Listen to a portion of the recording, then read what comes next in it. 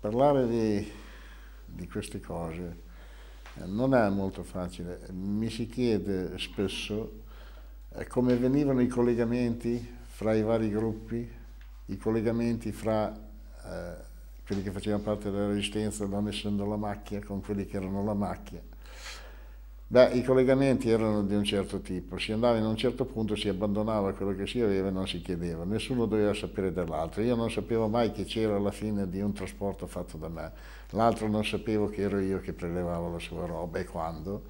erano tutte cose fatte proprio appositamente perché uno, non dimentichiamoci ragazzi, che eh, la fondamentale... Eh, il metodo fondamentale che usavano era quello della tortura per ottenere i nomi.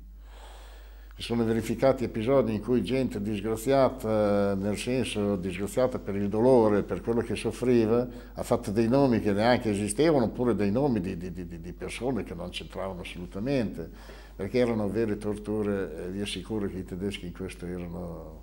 buoni maestri. E, eh, noi comunicavamo quindi eh, indirettamente. Indirettamente perché si lasciavano dei segnali particolari quando si trattava di informazioni, si lasciavano dei materiali in un certo punto eh, e questi punti cambiavano continuamente perché ti arrivava l'avviso, l'avviso orale a volte anche e lo portavano quasi normalmente le donne, chissà perché chissà eh, perché, davano più fiducia forse anche degli uomini in questo senso le donne, o forse perché si pensava che non torturassero le donne come torturavano gli uomini, era anche un pensiero sbagliato perché i tedeschi non guardavano a uomo o donna, quando volevano qualche cosa lo ottenevano dall'uno o dall'altro. Fatto sta che, eh, per esempio, una comunicazione fondamentale la faceva una signora tuttora vivente eh, che abitava una casa in Fregio alla Valle Santa la Valle Santa, eh, sugli argini eh, c'era almeno un piano, un piano e mezzo di una costruzione a tre piani, strana per quei tempi, che rappresentava praticamente una antica casa di guardia dei padroni dei terreni circostanti. E a seconda di come lei disponeva o la biancheria alla finestra per asciugare o le persiane chiuse, non chiuse, chiuse solo una, non chiuse l'altra, eh, oppure la persona stessa che si affacciava rischiando molto alla finestra in atteggiamento particolare o anche solo diritto con una mano alzata poteva voler dire tutto e eh, dentro l'osservatore per i partigiani che raccoglieva queste notizie.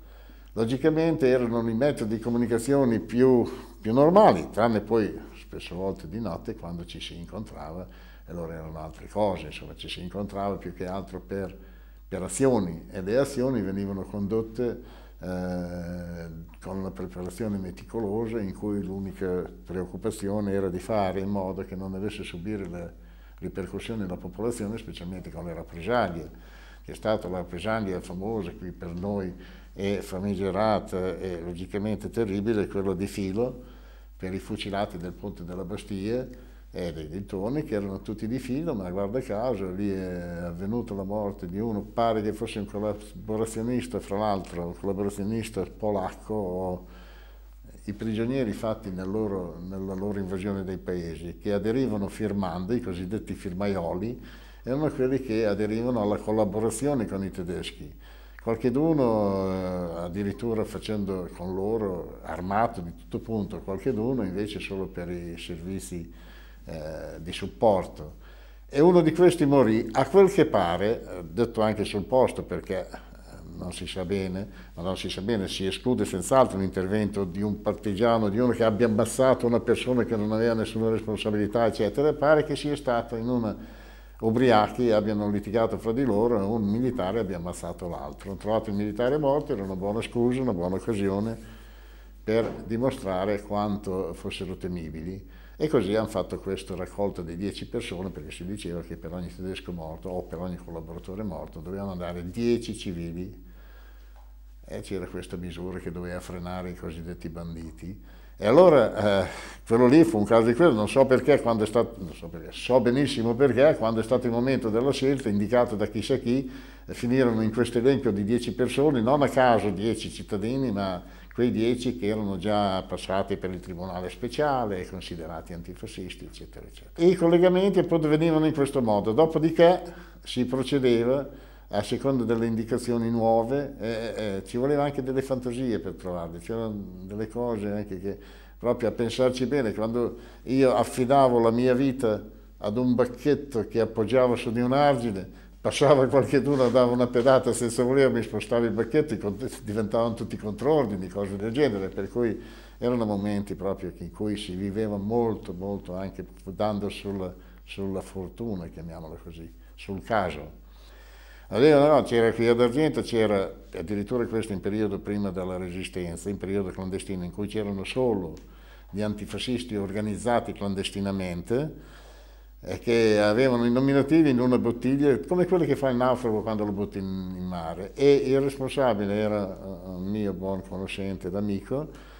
che in questa bottiglia l'aveva nascosto nel suo terreno, nel cortile del suo terreno, una certa profondità in questa bottiglia, mettendo dentro l'elenco, perché anche lui non li conosceva, queste persone ogni tanto doveva rintracciarle. La prima bomba di Pippo che buttò per caso finì nel suo giardino, sollevò il terreno, fece un cratere non molto ampio, ma comunque di un paio di metri. Al mattino quando lo si alzò, sulla cima del terreno smosso, c'era la bottiglia con dentro che si vedeva benissimo, sembrava un messaggio buttato nell'acqua da un naufrago, insomma. Ecco. E dentro c'erano i nomi, e quindi cosa anche abbastanza... Quindi tutto era affidato a volte anche alla sorte, insomma.